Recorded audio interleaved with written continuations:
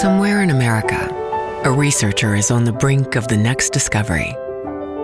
That moment that changes a life forever. When all the wrongs led to one right and hope is reborn. Leaving no doubt, the power of our immune system can treat cancer. Untold successes have been made. Countless lives given a tomorrow. Still many uncertain about today. Why wait for the future to reveal itself? Define what is with audacity to believe it will happen.